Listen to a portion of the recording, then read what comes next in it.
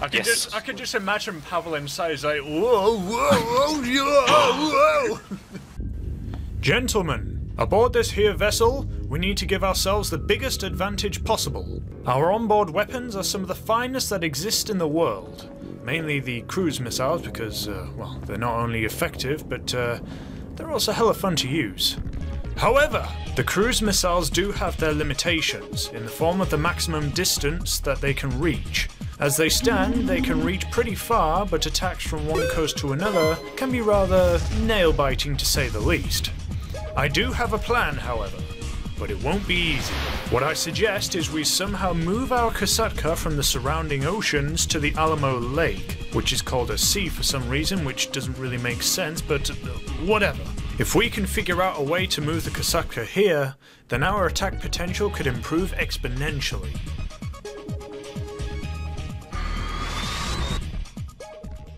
But how will you do it, Capitan? It seems like an impossible task. I'll go grab a few friends, uh, and then we'll regroup. You wait here. Wait a minute. You have friends?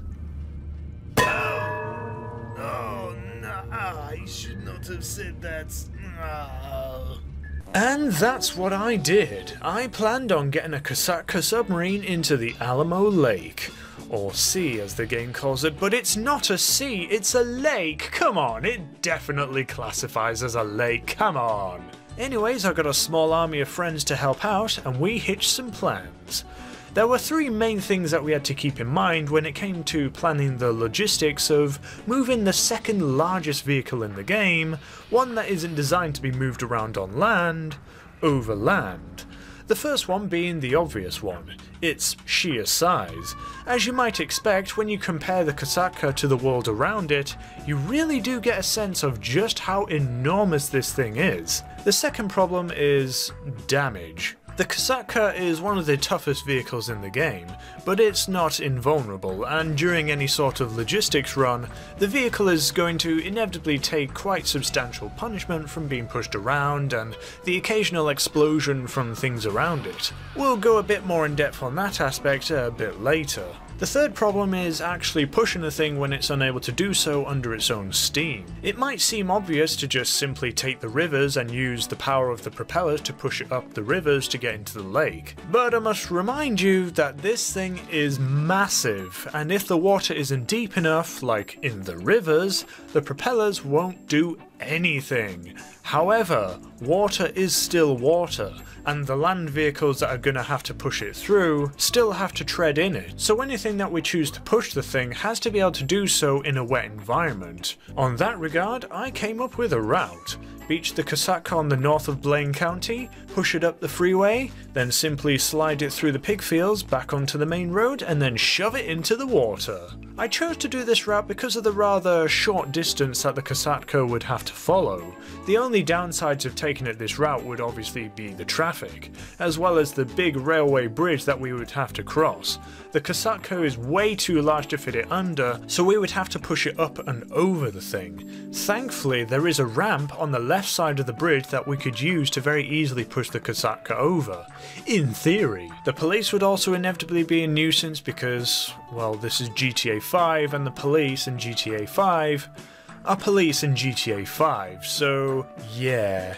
But as we found out, in the vehicles that we were using, we could on the most part just ignore the police. It's probably time to talk about the vehicles that we're going to use for transporting the Kosatka to its destination, or as I like to call, the tools of logistics. The main vehicles that will provide the majority of the horsepower that we'll need to move the giant submarine around will be Avengers.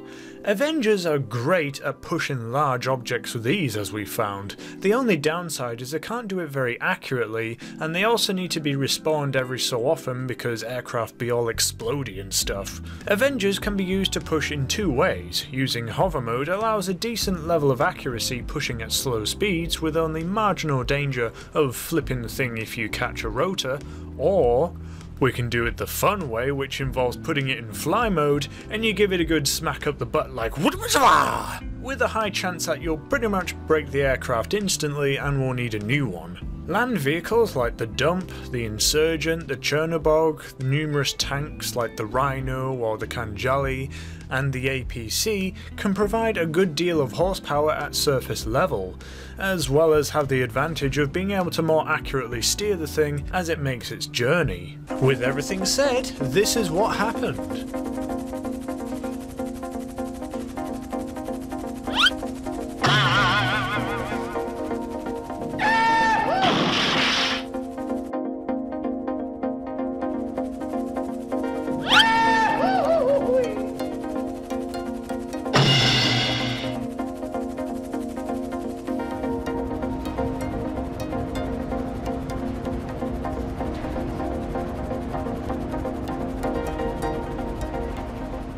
I need a good ramming.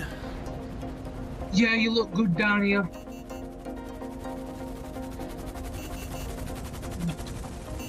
So, Okay, oh, that's good. Oh, nice. We've at least cleared Yeah, the that'll do. lift. Oh, oh yeah, yes. you clear. Nice, keep it going. Oh, ah, nice. And I'm beats now. Oh, nice. Actually, not not yet. I still have a bit more to go.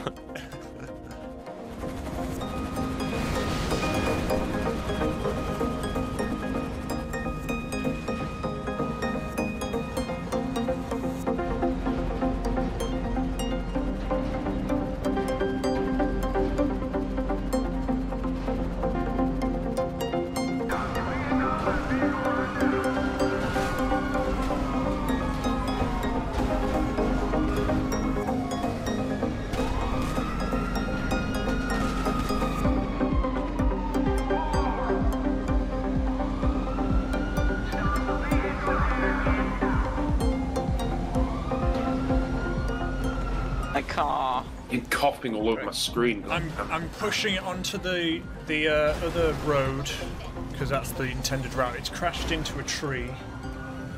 Right, now, now it's over there. Now it's over the divider. We can shove it to the other. Which side does it need to be on? Left. Has everybody lost the cops? Right, left hand side then.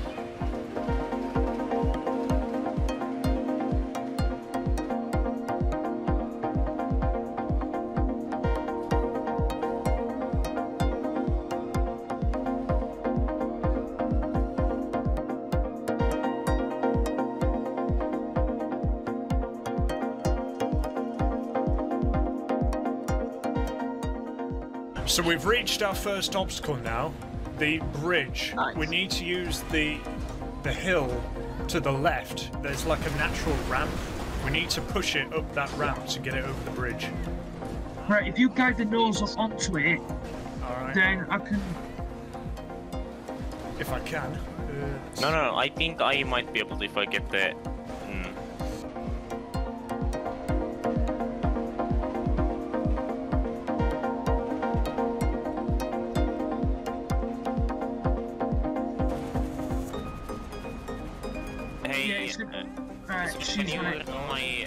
Jump out of this? Is it going to make Right, the so bridge? what- uh, what's the situation? What, what's Yeah, the it's Uh, going over. It's going over, but we check. need these NPC cars moving. It's stuck. Repair this, also get this unstuck.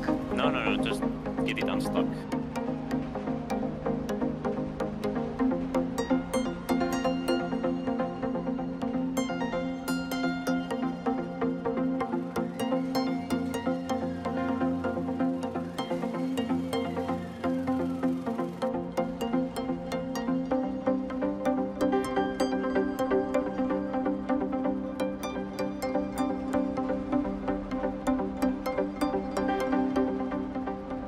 Yeah, was it she put the battery up, to stop it rolling back? Don't.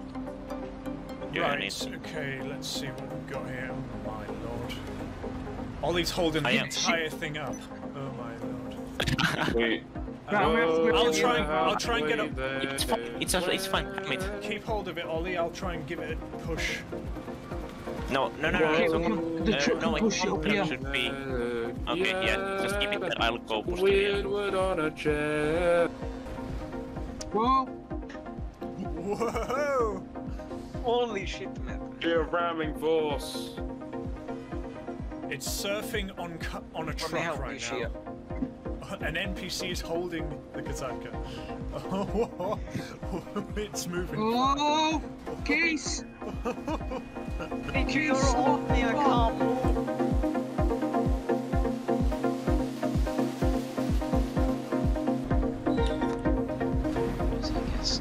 It's stuck in oh. between a tree and this pole. We either need to lift it over or twist it clockwise. Nah, it's gonna pass. Yeah, it's power through, power through. Look, look at Oh, these it's power made it! through. It's through! Yeah! Full power. Yeah, no, no need to just turn it, just power through everything. We've tried all the vehicles. Why can't we just try a yacht? The yacht can push it, can't it? I can spawn a yacht hydra, but I don't think that's a good idea. No. I'll just blow up my Uh, dump this is a we've now got smoke. Push me rocket. Oh no! Nice, nice. What the hell? No! It blew up. shit! No. okay. Uh, Oh, here we go again. This is the uh, downside of this route. Clearer. Well done. We got pretty far, but it would seem that the traffic constantly exploding all the time, as well as the rather tricky things that we had to do to the Kosatka, meant that this route was kind of out of the question at this point. Next up, we try coming in from the east coast. What we do is we beach the Kosatka on the sand near the lighthouse and then work our way up to the enormous railway bridge that lay before us. Again, the Kosatka would be much too big to fit underneath the thing, so we would have to figure out some way to get it up and over, then shove it along the fields and into the water. Simple enough. This route would be a lot more difficult due to the limited working space for vehicles near the sand, as well as the bridge being a pretty big challenge to say the least. But at least traffic wouldn't be a problem as there is about 10 times less going through this road than there is going along the freeway. This is what happened.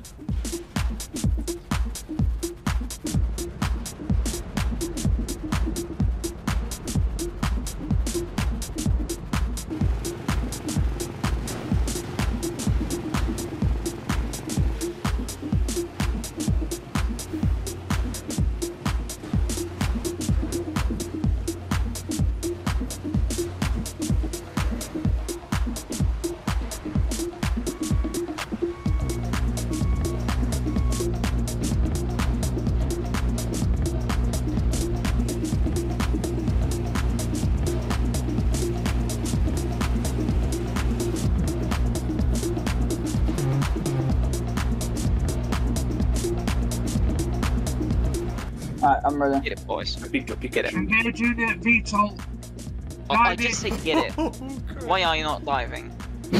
We are we're now already VTOL. VTOL. Oh my god, that, that's one hell of a move! Move in, boys, move in! Move it up. Full power. Give it a push! All your power! Maximum power! Yeah. Jesus. We only needed one Avenger! Ah. Yeah! Oh my lord! Oh my god. You knocked it like a... Ah, that was huge. yeeted it! that was a giga yeet! And That it's Oh, out the of the park! flew. Oh, the plan. Jesus, Holy that, shit! that thing flew. God's plan. You know what, I'm gonna be actually so sad if it if the traffic explodes it. Then we gotta be quick.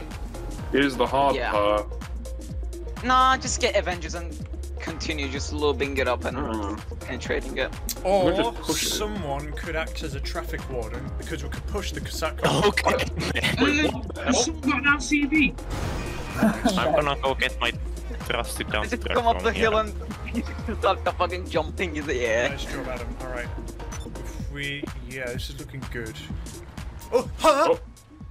Man. Your Kosatka's No, been you- destroyed. No! No! Yeah, as insane as it was to watch the Kosatka fly through the air like a bird, the sudden disappearance of it did confuse us a bit.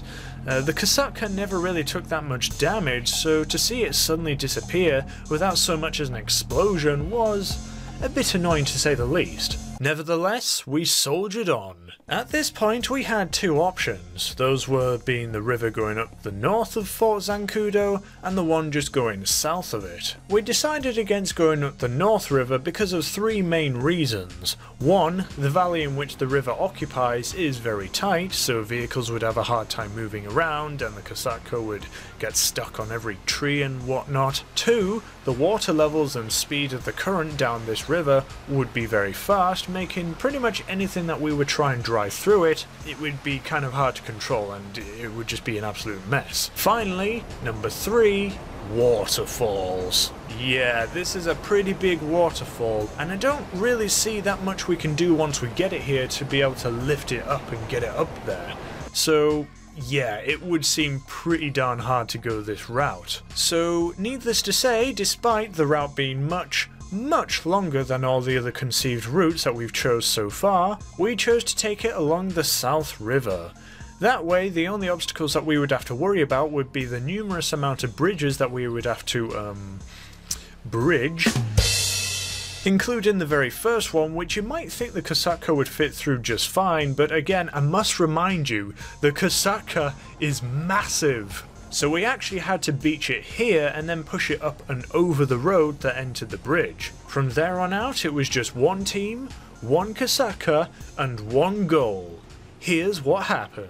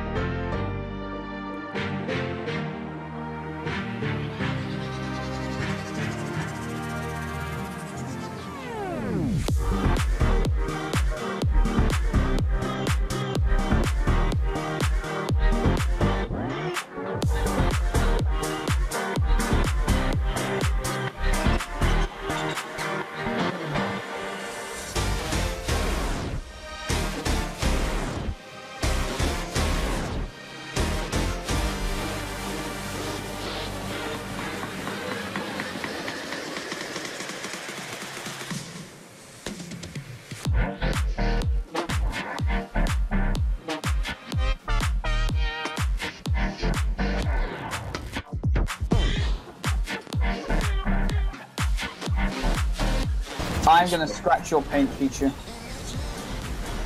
You know your native language, Shrek. No. God damn, that Kosatka's really moving now.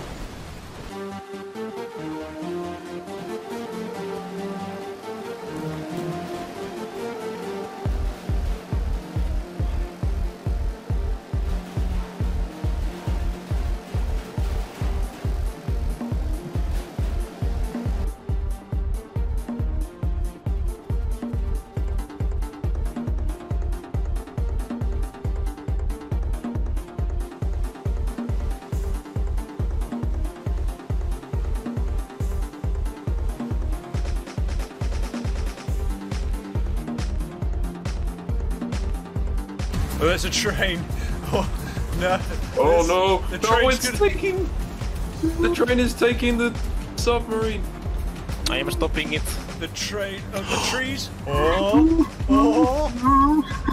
Is it good? No, shit. There's still more obstacles. Whoa. Whoa! What the hell is happening? I'll try, try, try to steer the Kosatka. Oh. oh, it's, it's sliding. Is it going to make the maiden voyage? Let's go Get, ahead. get the civic car. Can you imagine it just spontaneously combusts for no reason? No, don't say that.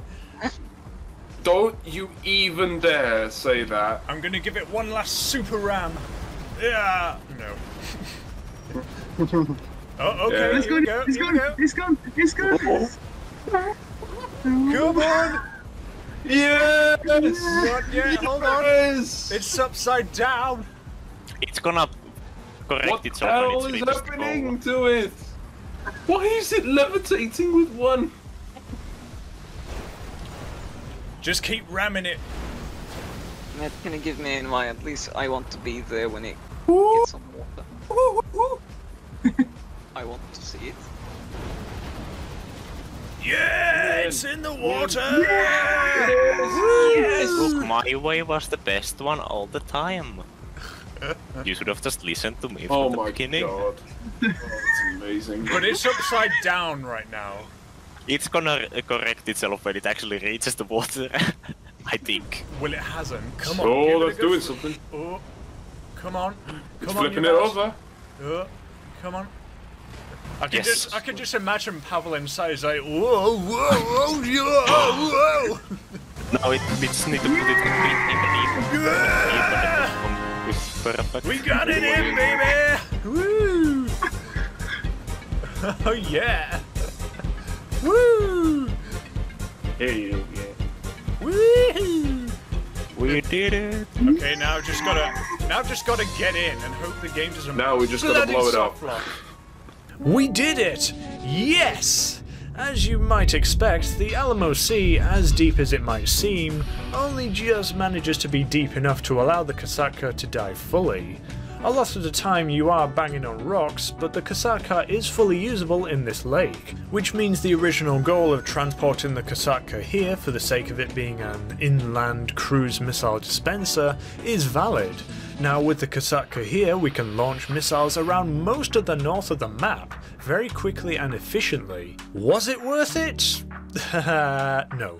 But as a proof of concept, if the north of the map was the main focus of PvP rather than the city of Los Santos, I mean, which sometimes it is, sometimes we go PvP there, I've done it a few times, and we needed a platform to launch countless missiles around without having to coast around the exterior of the map, this would be a great setup. The only downside is you would have to have a team of 10 people spending upwards of an hour transporting it into the lake. But like all of these weird challenges that you see on YouTube, while we didn't get anything practical out of it, we got something else. Something infinitely more priceless than any missile can bring to the table. A little something I like to call friendship. I hope you enjoyed this pointless video. If you did, you know what to do, and I'll see you around, folks.